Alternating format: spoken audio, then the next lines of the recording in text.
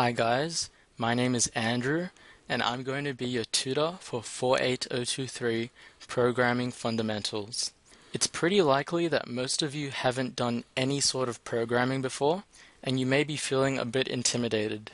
You might stare at lines of code and just think to yourself, I have no idea what's going on. And I can understand because I felt that way too when I was starting out. So I'm going to keep that in mind throughout this video series and assume you watchers out there have absolutely zero prior knowledge. In this video, I'll just be showing you the basic tools and ideas used throughout the subject. So I'll be going over four things in this video. What BlueJ is and how to use it, how to print text, and what code primarily consists of variables and statements.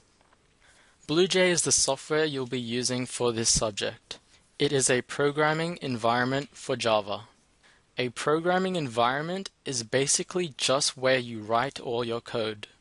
I think the reason why this subject uses BlueJ is because it is extremely user-friendly, making it a good platform for beginners to learn how to program. Download BlueJ from bluej.org. It's available for both Windows and Mac you'll need to download the BlueJ Combined installer. After you've installed and opened BlueJ, to get started, you'll need to create a new project followed by a new class. You can call it whatever you like, but for the purpose of these videos, I've called my project and class Learning. Also, at this point, you may be wondering what a class is, but don't worry about it for now. We'll get to it in a future video.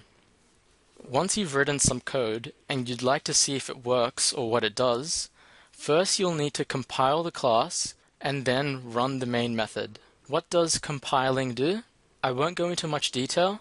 For the purpose of this subject, just know that it makes sure there are no errors in your code. Finally, we can start talking about the actual code. The first thing we're going to look at is printing. It's kind of a tradition that everybody's first ever program does nothing but print out the phrase, hello world. So that's how we're going to start out too. When you open up your class, there may already be some example code in there, but I just want you to remove all of it and start fresh. So just press Ctrl A to select it all, then delete it. Once you've done that, type this up. I know it may look confusing right now, but just type it up and see what it does. Now see if you can modify the code to make it print other things. A little analogy I've come up with to explain coding as if you were five years old is this. Writing code is just like writing a recipe. You've got ingredients and you've got directions. It's pretty much exactly the same with code. You state the things you need and you give instructions involving those things. The ingredients are called variables.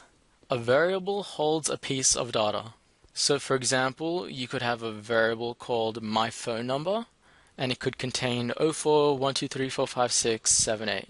The most common data types, especially in this subject, are strings and integers. A string is basically a bunch of any characters, so ASDF, hello, anything at all, you probably know what an integer is. It's a whole number. So 1, 0, negative 1, 10, 15, 20. You might also see doubles in this subject. A double is just a number with decimal values, like 2.5 or 6.25 and stuff like that. Try using a variable in the code here. A statement is just an instruction to the computer. It's usually one line and ends with a semicolon. A set of instructions is sometimes called an algorithm. Later on in this course, we'll go over some basic algorithms. Try to spot the statement in our code. So that's all for today, folks. To recap, we learned what BlueJ is and how to start using it. We learned how to print, and we learned what variables and statements are. Here's the code we focused on. In case you didn't work it out, this is how you would use a variable here. I called the variable message and it contains the string hello world. These are both statements. The first declares and initiates the variable, and the next one is a print statement. Next video we'll be talking about input and output, covering a bit more about printing and learning how to read and utilize user input. Thanks for watching.